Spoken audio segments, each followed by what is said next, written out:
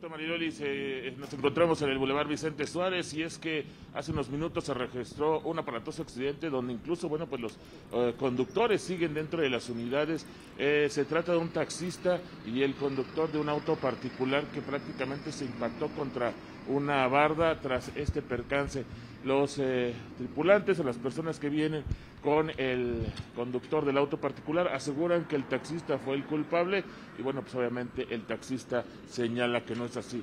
Sin embargo, a pesar de que ya pasó cerca de media hora desde que sucedió el percance, no han llegado los eh, servicios de emergencia, ni ambulancia, ni tampoco elementos de la Secretaría de Seguridad Ciudadana y ambos vehículos obstruyen pues dos carriles, el de taxi, el de alta y el particular, el de baja y bueno, esto podría ocasionar otro percance. Los que ya llegaron fueron los trabajadores de grúa, sin embargo, pues no hay ambulancia y no hay elementos de tránsito para que vengan a dar fluidez a esta zona, Mariloli.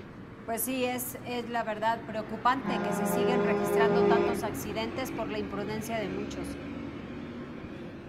Así es, Mariloli, y sobre todo la fuerza con la que se registran ya estos accidentes, como lo, tú lo puedes ver en las imágenes de mi compañero Alfredo Santos. Bueno, pues así quedó esta eh, pues esta portezuela del taxi. Y bueno, necesitamos que sí vengan elementos de la Secretaría de Seguridad Ciudadana porque por momentos hay incluso Mariloli conatos de bronca entre pues los eh, conductores o los tripulantes que ven el particular y con el taxista. Y como lo podemos ver en las imágenes se siguen haciendo de palabras. Si no hay un elemento de seguridad o peritos podrían pues llegar hasta los golpes como hace unos momentos pues ya estaba sucediendo Mariloli pues sí, desde luego que sí. Muchísimas gracias, Cristóbal.